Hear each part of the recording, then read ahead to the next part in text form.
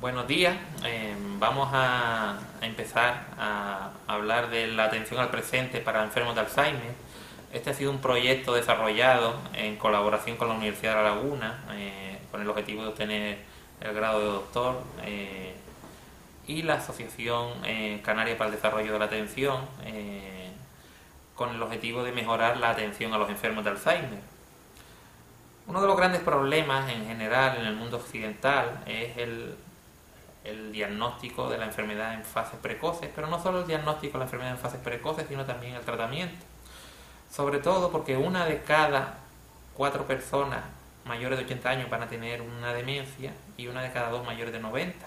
Y en un mundo eh, que envejece a pasos agigantados, esto es un problema eh, de principal magnitud. La atención al presente es un desarrollo conceptual práctico de ejercicios derivados eh, de las prácticas de mindfulness. Hemos decidido prescindir eh, del concepto mindfulness porque se está haciendo un uso coloquial del término y actualmente esto está favoreciendo que se confunda las ciencias de la salud con otras prácticas que carecen de eh, una evidencia científica. Entonces es importante enmarcar la atención al presente dentro de las ciencias y de las neurociencias actuales. La atención al presente eh, podemos definirla como mantener la atención en la actividad que se está desarrollando en el momento presente con una actitud de aceptación y afecto por lo que se hace.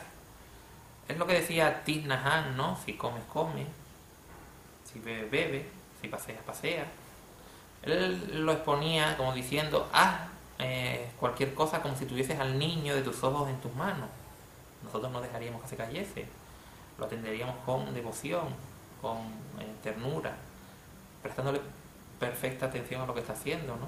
Por eso simplemente la atención al presente es volver una y otra vez a retomar el flujo voluntario, e intencionado de la atención cuando perdemos el hilo del estímulo que hayamos decidido focalizar.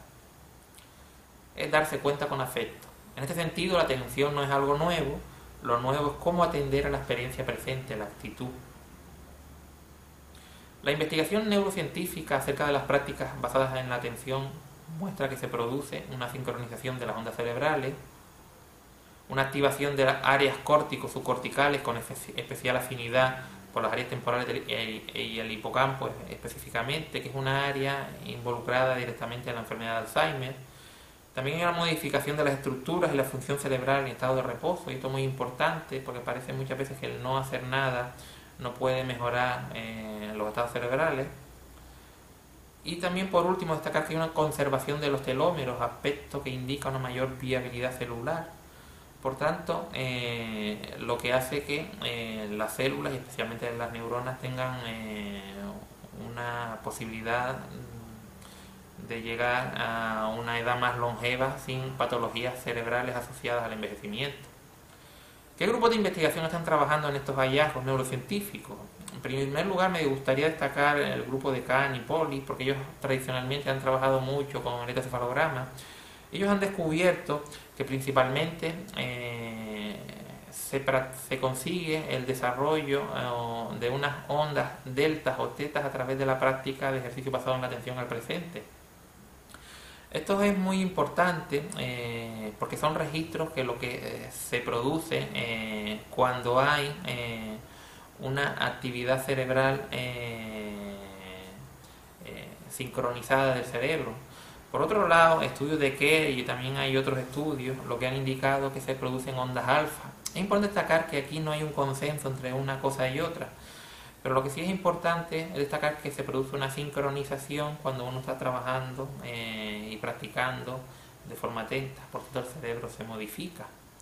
Aquí vemos uno de los resultados del estudio de Canipoli, donde vemos cómo eh, los participantes eh, y, practicantes de ejercicios de tensión consiguen una sincronización de las ondas cerebrales, sobre todo en áreas ah, frontomediales también es importante destacar ¿no? Eh, cómo se produce una activación de áreas córticos o corticales. Las áreas corticales las vemos en la siguiente lámina en el cerebro coloreado y las áreas subcorticales son aquellas eh, estructuras profundas que lo que hacen referencia es a las primeras áreas cerebrales que se desarrollan en los estados embrionarios.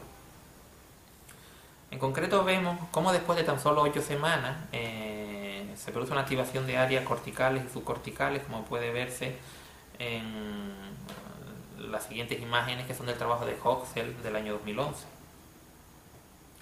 Aquí vemos cómo eh, la práctica de MBCR, que es lo que ellos practicaron, que es el programa de mindfulness basado en la reducción del estrés de Kabat-Zinn, produce una mejoría en el corte cingulado, en, las áreas temporoparietales, también en el cerebelo eh, y también específicamente en el hipocampo, como ya adelantamos anteriormente. Y esto nos hace indicar que esta práctica es muy útil para la enfermedad de Alzheimer, sobre todo para conseguir mantener la activación en esta zona. Uno de los aspectos importantes son los mecanismos neurales que están a la base de eh, la atención al presente. El equipo de Malinowski en Liverpool lo que ha desarrollado son cinco fases específicas por las que pasa una persona cuando está haciendo atención. La primera es la fase de alerta o la fase de eh, atención intencional, donde uno focaliza el estímulo que haya desarrollado.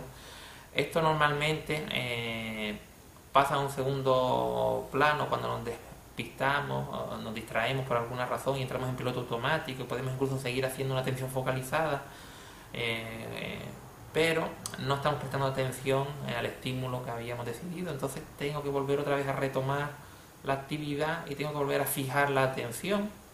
Esto es importante porque me conduce a la función ejecutiva y es darme cuenta cuando me voy a distraer y poder tener la capacidad de inhibir para seguir atendiendo a lo que haya decidido y por último nos permiten desarrollar la capacidad de orientación en función del estímulo elegido.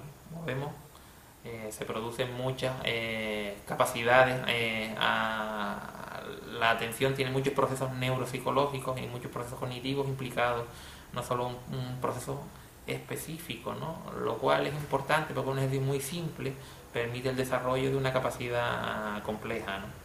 En general, algunos beneficios que han demostrado las prácticas de mindfulness o atención en las personas mayores eh, y que están estrechamente ligados con la enfermedad de Alzheimer porque son factores de riesgo, son el estrés, la depresión y la ansiedad, la hipertensión, eh, fatiga crónica, alteraciones del sueño. Y también se ha visto que estas prácticas tienen un beneficio en el dolor, eh, en las capacidades cognitivas. Hay algunos estudios, como el estudio de Wells eh, del pasado año, el 2013, que por primera vez han demostrado que una práctica basada en el MBCR es capaz de mejorar las capacidades cognitivas. El objetivo principal que hemos tenido nosotros con este estudio, un poco viendo estos antecedentes de forma breve, es conseguir validar un, tratamiento no farmacológico basado en el mindfulness, basado en la atención plena, que lo hemos dado por llamar el Mindfulness Based Alzheimer Stimulation o la estimulación eh, para el Alzheimer basado en mindfulness. Y el objetivo secundario también es conocer la eficacia de otros tratamientos no farmacológicos utilizados habitualmente en la demencia, porque muchas veces eh, utilizamos en nuestro contexto eh, estimulación cognitiva, relajación, otro tipo de tratamientos, pero no tenemos una evidencia suficiente que demuestre que son realmente útiles a largo plazo en un periodo de dos años. Simplemente para hacer eh, un pequeño guiño a lo que es la enfermedad de Alzheimer, eh, podemos decir que es la gran incógnita que tenemos actualmente en el siglo XXI. No tenemos una respuesta adecuada a, qué es lo que produce la enfermedad. La enfermedad actualmente se sigue diagnosticando según los criterios eh, establecidos por consenso y actualmente hay una serie de criterios establecidos por diferentes grupos de investigadores eh, a nivel internacional. Actualmente los últimos son del año 2011, del Instituto de Envejecimiento y, la Asociación de Alzheimer norteamericana, pero hay otros eh, criterios que han sido utilizados tradicionalmente desde los años 80, como los criterios de la NIS eh, ARDA, que son después lo que se han revisado para tomar los criterios nuevos en el año 2011. No obstante, a lo largo de todo este periodo de tiempo, en estos casi 30 años, eh, ha habido oh, muchos criterios a la hora de definir lo que es la demencia, el DCM, la CIE, el, el CANDES en, Europa. Y esto ha generado cierta controversia, cierta discrepancia entre qué es una demencia tipo Alzheimer y qué no, no. Actualmente esperamos que en los próximos años se puedan fijar mejor los criterios, utilizando los criterios que propone la NIA No obstante, a pesar de esto, eh, la enfermedad de Alzheimer lo que hay que dejar claro es que tiene una etiología multifactorial y esta fue descrita desde su origen cuando el propio Alois Alzheimer, a la hora de, describir el caso de Augusta D., él demostró eh, que no solo se producía un deterioro eh, neurodegenerativo, una pérdida de masa neural, ¿no? sino también había otros aspectos dentro de la propia patología como es los trastornos cerebrovasculares asociados. Sin embargo, eh, tenemos que valorar hoy día la enfermedad de un punto de vista mayor, porque no sabemos exactamente eh, qué es lo que produce. Hay muchas teorías y la más avalada es la teoría de la beta amiloide, la cascada, la conformación de la tau, ¿no?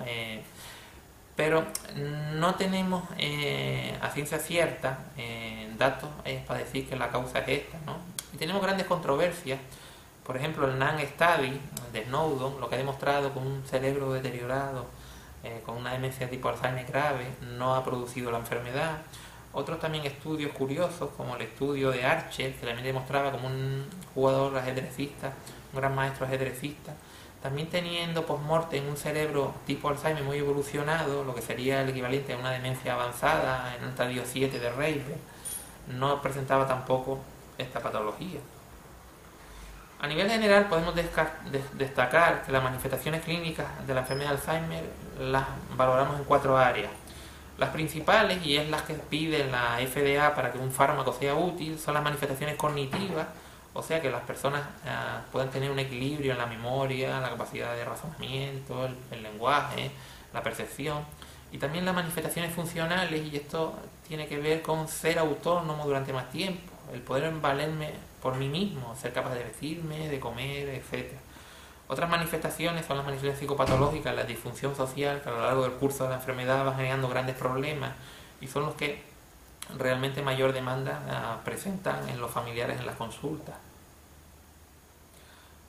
El tratamiento que se eh, solicita hoy día para la enfermedad de Alzheimer es un tratamiento integrado en un tratamiento farmacológico por un lado, algún inhibidor de la acetilcolinesterasa, y tenemos tres, o la memantina, y por otro lado el desarrollo de tratamientos no farmacológicos. Este tratamiento, eh, englobado dentro de lo que es un tratamiento integral, lo que se ha visto es que mejora la, evolución de la demencia durante más tiempo. Los tratamientos no farmacológicos aplicados a la enfermedad de Alzheimer eh, vienen ya desde muy antiguos, desde los años 50 del siglo pasado, y lo que se ha visto eh, aplicando estudios científicos o todos ensayos clínicos aleatorizados es que solo tenemos un efecto ligero sobre la cognición y la funcionalidad. Donde hay un efecto moderado en la utilidad de estos tratamientos es en el ámbito de la conducta o la calidad de vida con asesora al cuidado principal. No obstante, estos datos, eh, a pesar de que sean solo un efecto ligero moderado, lo que nos viene un poco a demostrar es que es importante seguir investigando para conseguir nuevos tratamientos no farmacológicos porque sí que eh, colaboran en el beneficio y en el bienestar mm, de las personas ah, con enfermedad de Alzheimer y sus familiares también. En el cuadro 1 podemos ver eh, los principales fármacos que tenemos actualmente en el mercado. En el año 93 apareció el primero, que es la tagrina, aunque ha sido abandonado porque es un fármaco muy hepatotóxico y actualmente tenemos el donepezilo, la ribastimina y la galantamina como los principales fármacos para empezar a prescribirlo eh, y a empezar el tratamiento farmacológico en la demencia en fases leves y moderadas, no siendo muy evidente la utilidad de estos uh, fármacos en fases avanzadas para la cognición.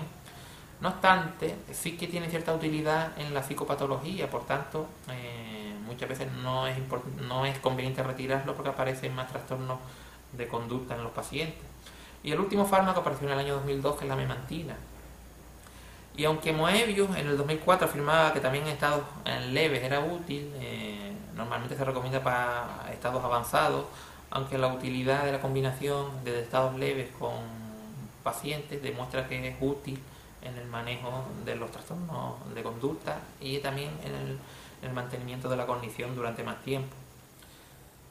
Fíjense que desde el año 2002 no tenemos un nuevo fármaco.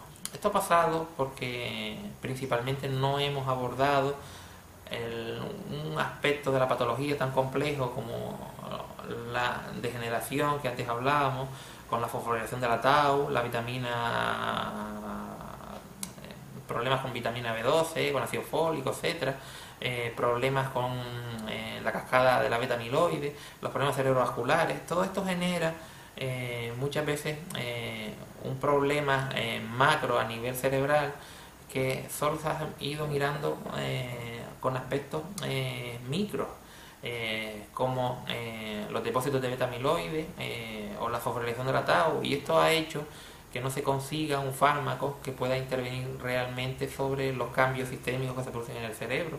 Y esto ha hecho que todos los fármacos que se han estudiado en los últimos 10 años hayan fracasado. Y es en este contexto de falta de alternativas terapéuticas, tanto farmacológicas como no farmacológicas, y ante una enfermedad de etiología todavía por definir y de probable carácter multifactorial, donde surge nuestro interés por aplicar un tratamiento psicológico para la enfermedad de Alzheimer basado en la atención al presente o en el mindfulness, como forma de afrontar una situación nueva en la vejez.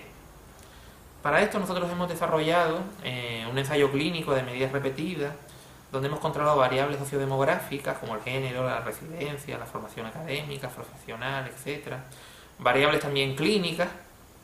Concreto miramos el marcador ApoE porque la mayor parte de los enfermos que saben que tienen un alelo E4. Eh, también que la diabetes, la hipertensión, diferentes cardiopatías, la dislipemia, el colesterol, los triglicéridos y también la psicopatología. Se hizo el estudio a doble ciego, los sujetos no sabían a qué grupos iban a participar, los evaluadores tampoco participaban en la intervención las personas que realizaban la intervención eran personas que no tenían contacto unos con otros y también los, profesionales que analizaron los datos no habían participado a lo largo del, estudio. Se desarrollaron tres grupos experimentales y uno control. El primer grupo experimental era el grupo de mindfulness o atención al presente. El segundo grupo, un grupo de estimulación cognitiva de forma tradicional. Aquí utilizamos el programa de psicoestimulación integral que propone en España la Fundación ACE, ¿no? con Tarra y Boada y por último, un programa clásico de relajación muscular progresiva. Los análisis que desarrollamos son análisis no paramétricos, tanto intergrupos como intergrupos, porque los eh, resultados no se ajustaban a la normalidad. Los criterios de inclusión es que todos los pacientes tenían que tomar donepecilo. También desarrollar un cuaderno de repaso de Tarraga y Boada, porque siempre los neurólogos cuando uno va a la consulta le dicen que haga estimulación cognitiva de papel y lápiz se incluyeron personas con un GC 3 y 4, o sea que tuviese un mini mental, el MMSE superior a 18 puntos, y la enfermedad de Alzheimer probable según los criterios de la NIS-ARDA, y un consentimiento firmado tanto por el paciente como por el jugador principal. Se excluyeron cualquier enfermedad neurológica degenerativa que no sea enfermedad de Alzheimer, otras demencias no Alzheimer, vasculares mixtas, otra medicación antidemencia que no fuese donepecilo, por ejemplo ribastimina, galantamina y omemantina, síndromes geriátricos evolucionados que impidiesen que el paciente tuviese un mínimo de dos años en eh, el tratamiento, antecedentes de trastorno psicótico, también historia de abuso o dependencia de alcohol y otras sustancias. Y esto nos llevó a plantear el siguiente método de trabajo. Se evaluó mediante una evaluación neurogenética integral, siguiendo las recomendaciones de Alayón y su grupo de trabajo, y para eso utilizamos un programa de evaluación eh, neurogeriátrica como el MANUVE, eh, desarrollado por Novartis, y utilizamos el CANDE eh, para hacer la evaluación. En la siguiente escala se puede ver, en gráfica, las diferentes escalas. A nivel cognitivo usamos el CANCO, el MT, que es la previamente antes y el Minimental. en la funcionalidad utilizamos la, escala de demencia de Blese, el RDRS2 de Lean, eh, y a nivel psicopatológico utilizamos el YESABAC para evaluar depresión, el Hamilton también para evaluar depresión, aunque nos interesaban aquí más los ítems, y el NPI, donde se mide psicopatología y trastorno de conducta. En total había 502 personas que quisieron participar en nuestro estudio y finalmente nos quedamos con 168. Se autorizaron los grupos. Eh, las personas los diferentes grupos, quedándonos con 41 para el grupo de atención o mindfulness, 36 eh, para el grupo de estimulación cognitiva, 45 para el grupo relajación y 42 para el grupo control. Es importante destacar que solo se perdieron a lo largo del estudio 7 personas, principalmente porque por fallecimiento, no hubo más pérdidas porque lo que le garantizamos es una atención gratuita durante todo este tiempo y desafortunadamente actualmente en Canarias, en las Islas Canarias en España, Tampoco hay un servicio público de atención a las demencias que está en fase de construcción. Los grupos de tratamiento experimental, el primero era un ejercicio de relajación muscular progresiva, que no me voy a detener en ello, pero simplemente destacar que son la tensión y distensión muscular de diferentes áreas eh, musculares, ¿no? Por ejemplo, el puño, apretamos el puño, lo soltamos rápidamente para ver la diferencia. El segundo era un grupo de estimulación cognitiva grupal y aquí hacíamos diferentes eh, actividades, actividades de papel y lápiz, dinámicas de grupo, eh, destinadas un poco a potenciar las diferentes capacidades, ¿no? la memoria, el razonamiento, el lenguaje, etcétera. Y por último, vamos a presentar el programa cognitivo-conductual, que es nuestra eh, propuesta para los enfermos de Alzheimer, que se ha basado en el programa eh, MBCR destacado anteriormente de Cavaxin y algunas adaptaciones eh, de Miro y colaboradores. También el programa para cuidado de personas mayores basado en Mindfulness que ha desarrollado Lucía McBean, también este está basado en el programa MBCR de Cavaxin en la técnica de yoga de Kirtan Kriya, aplicada por Calza eh, a diferentes enfermos eh, con demencia, y también ejercicios de integración sensorial basados en el desarrollo de aire a través eh, de la estimulación multisensorial, y por último las prácticas informales en casa. Los ejercicios de yoga son ejercicios sencillos, como podemos ver en la siguiente gráfica, y son ejercicios en silla, porque la mayoría de las personas mayores pues tener ciertas dificultades de movilidad, pero lo hacemos sentados, apoyándonos en la silla, a veces haciendo un pequeño ejercicio de equilibrio, etcétera, El Kirtan Kriyan es un ejercicio que es un tapping, eh, donde se canta una cancioncilla que es Satanama, a la vez que eh, se va eh, uniendo el pulgar con cada uno de los dedos. Y la tercera fase es una visualización, cada vez que voy haciendo un cambio, voy imaginando que entra eh, hacia la cabeza una especie de rayo, se proyecta hacia el centro de la cabeza, se proyecta después hacia la frente, después se proyecta nuevamente fuera. Esta última fase del ejercicio es más difícil para los enfermos de Alzheimer, pero en general lo que es el tapping y el mantra sí lo pudieron hacer sin problema. Otro aspecto importante son las técnicas de respiración, especialmente la respiración eh, centrada simplemente en cómo entra y sale el aire en la nariz, a través de contar las respiraciones, pero con el objetivo de focalizar la atención y mejorar la concentración y sentir cómo entra el aire más frío y sale más caliente.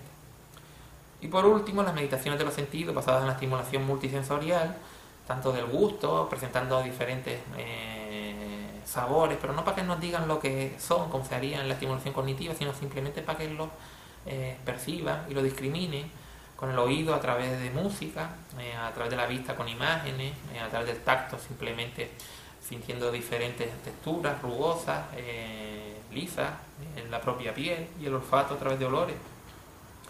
Y por último, el sexto sentido, descrito por William James, entre otros, donde habla de la propiocepción y de la interocepción.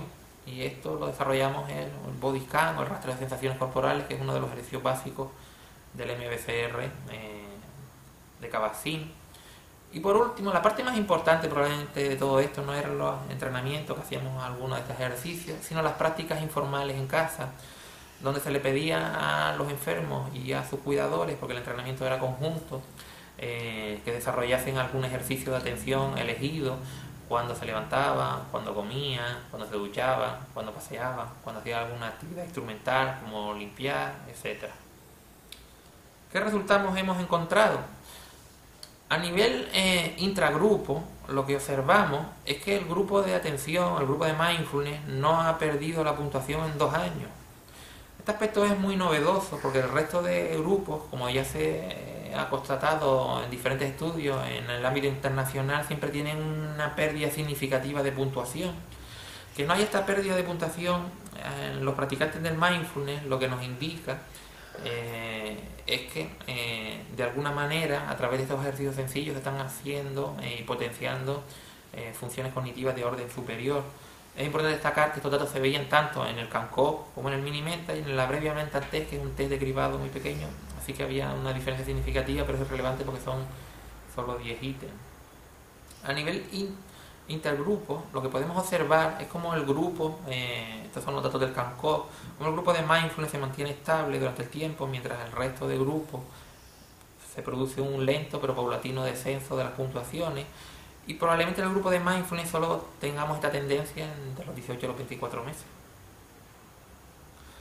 Aquí vemos las puntuaciones, el porcentaje de pérdida de la puntuación en función de la evolución global del estudio.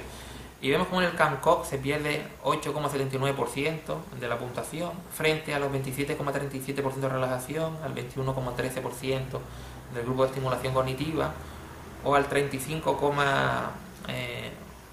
35,87%, 07%, perdón, del grupo control. Es importante destacar esto porque si nos vemos el, entre el 20 y el 40% de pérdida, mientras que solo el, no llega al 10% los pacientes que practican atención al presente. Y esto es muy importante porque lo que nos indica es que eh, una estimulación implícita, realmente integrada en el día a día de los pacientes es algo mucho más útil. Eh, incluso podemos ver las diferentes áreas en orientación, lenguaje, memoria, etc. Todos los datos siempre son similares y lo que nos indica es que tenemos que eh, potenciar eh, los programas de estimulación hacia esta área. En la funcionalidad lo que sí se observa es que eh, el mero hecho de practicar algún tratamiento no farmacológico mejora la funcionalidad a largo plazo, mientras que el grupo control sí se produce un deterioro progresivo a lo largo de estos dos años. Por tanto, sí es importante hacer cosas para seguir siendo más útil durante más tiempo y en esto el mindfulness es tan útil como otros programas que lo han demostrado anteriormente. A nivel intergrupo, lo que vemos que no se producen diferencias significativas, y esto es importante, entre los grupos de eh, control, relajación y estimulación cognitiva en la última medida. Sin embargo, el grupo de mindfulness mantiene eh, el beneficio a lo largo de todo el estudio, y esto sí es significativo porque normalmente no se produce con el resto de grupos. En el ámbito psicopatológico, lo que vemos es que el grupo de atención al presente produce una involución, o sea, se recorta la puntuación tanto en, en, el grupo, eh, en, el área de depresión, como en el área de trastornos de conducta, como después veremos. En concreto, en el YESABAC vemos como hay una disminución de la puntuación, lo que indica que las prácticas de mindfulness en los pacientes con demencia son útiles en la depresión en, concreto, en el, inventario de Hamilton, lo que vemos que hay un mantenimiento de las puntuaciones en los mismos niveles, que en comparación con el resto de grupos todos se incrementan de forma significativa. Por tanto, esto nos parece indicar que la práctica de atención es un tratamiento que es eficaz en el control de los trastornos del estado de ánimo. Y en comparación con los diferentes grupos, lo que observamos es que se produce una diferencia significativa desde los seis meses a favor del grupo de atención eh, al presente en comparación con el resto de grupos que suben las puntuaciones de forma significativa, ya que no tienen asociado este tipo de tratamientos ningún eh, programa que esté directamente relacionado con el control de los trastornos psicopatológicos. Y por último, el NPI aborda un poco los mismos resultados que hemos ido viendo a nivel intragrupo se produce una evolución tanto del grupo de relación o estimulación cognitiva como control que tiende al mayor deterioro, al incremento de las puntuaciones psicopatologías, mientras que el grupo de mindfulness hay una pérdida. Y esto es muy importante porque eh, volvemos a ver cómo la atención al presente mejora la psicopatología en la demencia. Por último, destacar la evolución clínica de los sujetos utilizando el GDS, que a pesar de que no es una escala eh, muy útil a nivel científico, sí que a nivel clínico nos da un buen resultado de ver cómo va evolucionando a lo largo del tiempo los pacientes. Y lo que hemos observado es que, es que en comparación eh, eh, del grupo de mindfulness con el grupo control, se produce una diferencia significativa a favor del grupo de mindfulness, cosa que no existe en el resto del grupo. Por tanto, la atención lo que parece indicar que hace que los pacientes se mantengan durante más tiempo en eh, un estadio entre una demencia moderada. ¿Qué podemos llegar, eh, a qué conclusiones podemos llegar y qué debemos valorar con este estudio? Que existe un consenso generalizado a la hora de prescribir el tratamiento no farmacológico eh, y farmacológico unido. Y esto lo que vemos que es útil porque simplemente no desarrollar un tratamiento no farmacológico, ah, podemos ver cómo los pacientes simplemente en el área funcional evolucionan de forma más negativa. En cuanto a la evidencia científica sobre los tratamientos no farmacológicos en el área cognitiva a largo plazo, encontramos en nuestro ECA que la estimulación cognitiva y el grupo de relajación eh, no presentan una evidencia de su utilidad, lo que ha demostrado eh, en otros estudios también. ¿no? Por ejemplo, estos grupos, tanto estimulación cognitiva como relajación, ha perdido unos cuatro puntos, que estas son las pérdidas similares que se producen en estudios de los años 80, que eran estudios donde todavía no había un tratamiento farmacológico. Por tanto, parece que este tipo de prácticas no aportan realmente a largo plazo un beneficio significativo. Sin embargo, el programa de atención al presente, el MBA, presenta un efecto beneficioso en al menos dos años sobre la evolución clínica de la enfermedad. Y estos resultados son prometedores, especialmente en el área cognitiva, pues solo se desciende un punto en comparación con los cuatro puntos que han perdido los otros grupos. También es importante destacar que el tratamiento basado en atención eh, presenta un efecto protector sobre el área psicopatológica, pudiendo ser un tratamiento de elección para frenar, para frenar y, retrasar la comorbilidad y los trastornos de conducta derivados en situaciones estresantes, como indican Gautier, Martín Carrasco, entre otros investigadores.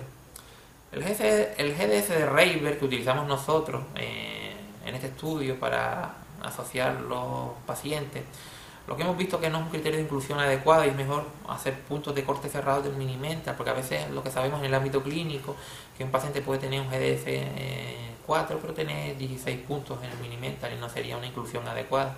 Por eso nosotros hicimos el factor de corrector con el minimental y en el futuro creo que esto debe tenerse en cuenta. Y también futuros programas de intervención deberán estar basados en modelos que tengan en cuenta la realización de estudios longitudinales de al menos dos años porque hemos visto que a lo largo del primer año no había grandes diferencias entre los diferentes tratamientos no farmacológicos. Y en el futuro también tenemos que realizar esfuerzos por introducir marcadores biológicos como recomiendan los criterios nuevos de la NIA a la hora de establecer lo que es una demencia tipo Alzheimer. Conclusiones. La principal es que los resultados parecen indicar que la realización de algún tratamiento no farmacológico en general mantiene la funcionalidad por tanto, tenemos que ponernos a hacer cosas. Segundo, que el desarrollo de un programa de estimulación cognitiva mantiene esta capacidad en relación al grupo control. Sin embargo, la estimulación cognitiva no muestra diferencia con el resto de grupos.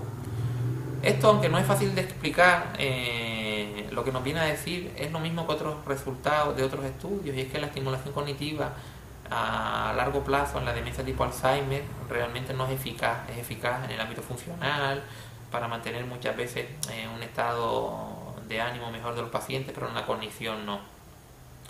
Y también, en tercer lugar, destacar que la introducción de técnicas que favorezcan el desarrollo de la respuesta de relajación parece tener eh, algún efecto protector en la evolución psicopatológica de la enfermedad de Alzheimer, porque lo vemos especialmente en el grupo de atención plena y hasta los 12 meses en el grupo de relajación.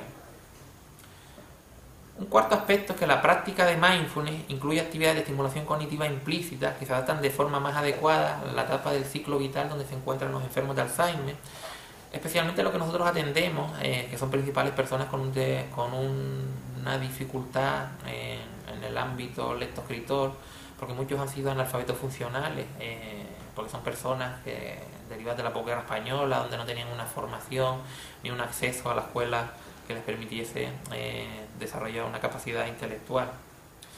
Un quinto aspecto es que el abordaje eh, de la enfermedad de Alzheimer de un programa psicoterapéutico basado en atención, en mindfulness, centrado en mejorar la calidad de vida relacionada con la enfermedad, parece tener un efecto protector en la cognición, la funcionalidad y la prevención de la psicopatología.